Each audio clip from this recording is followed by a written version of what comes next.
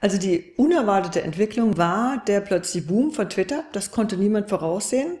Als Forscherin, als Forscher muss man ja auch so seinem Bauchgefühl, seinem Instinkt folgen und sagen, das ist ein spannendes Thema. Und wenn dann sich gesellschaftliche Veränderungen genau in diese Richtung hin bewegen, dann ist das natürlich wirklich ein sehr unerwartetes Erfolgserlebnis. Aber wir haben auch Rückschläge, ganz klar.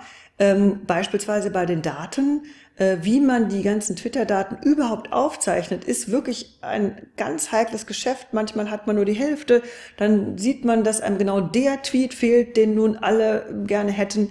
Also es kann manchmal auch frustrierend sein.